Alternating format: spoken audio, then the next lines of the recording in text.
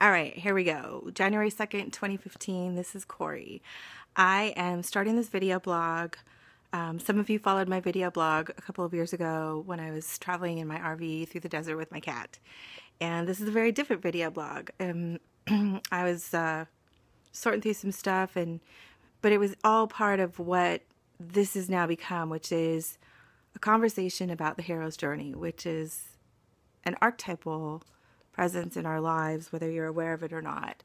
And um, starting a video blog from a hospital bed with a cast on is kind of a really great place to start for something like this. So, I will be telling you more about that. We'll be talking archetypes and stories and Star Wars and Hero's Journey. And the whole purpose of it is, is to recognize that you have tools to navigate the really difficult times in your life that maybe you think